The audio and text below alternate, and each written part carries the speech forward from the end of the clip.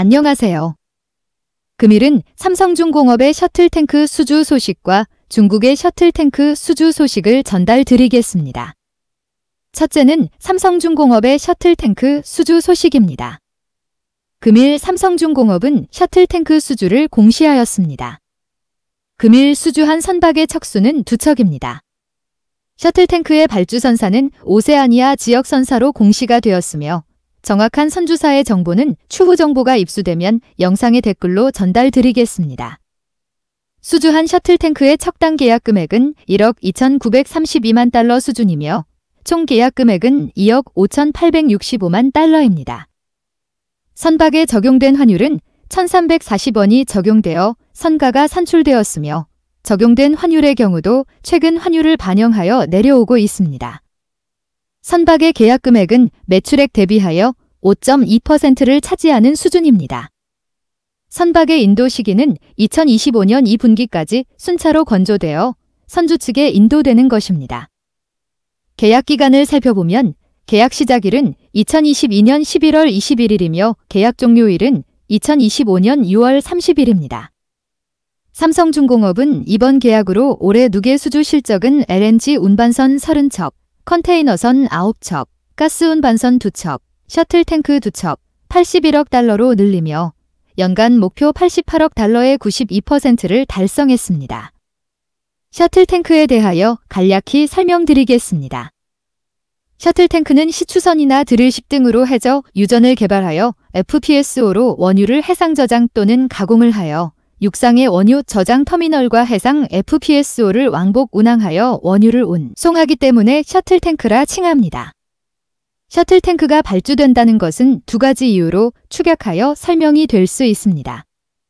기존 운항하고 있는 셔틀탱크의 노후 선박 교체 수요 및 해상, 유전이 개발되면서 FPSO 등의 발주와 함께 셔틀탱크를 발주하는 것입니다. 현재의 시장 상황을 보면 셔틀탱크는 북해 지역과 브라질 해역이 주요 운항 지역입니다. 북해 지역은 FPSO 신규 투입이 거의 없으며 브라질의 경우는 작년부터 FPSO 발주가 이어지고 있으므로 해당 FPSO의 물량을 육상 터미널로 원유를 이송하기 위한 셔틀 탱크가 필요한 상황입니다. 이번 삼성중공업이 수주한 선박의 경우는 브라질 해역에 사용될 선박으로 추정이 됩니다. 선박을 발주한 선사의 경우도 오세아니아 선사로 명하고 있지만 삼성의 중요 고객사 TK 또는 AET로 좁혀지고 있습니다. 향후 상세한 정보가 나오면 영상의 댓글로 전달드리겠습니다. 둘째는 중국 조선소의 셔틀탱크 수주 소식입니다. 노르웨이 선사 너트선 NIK 아프슈어 탱커즈 KNOT는 브라질 에너지 대기업 페트로브라스와 신규 용선 계약을 체결한 후 중국의 전문 셔틀 탱크를 발주하였습니다. 브로커들은 크누센 선사는 코스코 해운 중공업 저우산 조선소와 단독으로 15만 4천 deadweight급 DP2 셔틀 탱크 계약을 체결했음을 전하였습니다. 2025년 인도 예정인 신조 선박은 페트로브라스와 15년 기한의 용선 계약을 확정하였습니다. 시장에서는 한국조선소의 셔틀 탱크 선가 수준은 1억 3천만 달러이며 LNG 이중 연료 추진을 하였을 경우는 600에서 800만 달러가 추가됩니다. 중국 조선소의 경우는 한국 조선소보다 선가 수준이 약 400만 달러 낮은 것으로 알려지고 있습니다. 해양의 원유 시추가 증가하면서 관련 OSV, 셔틀탱크 등의 선박 발주가 지속될 것으로 예상이 됩니다.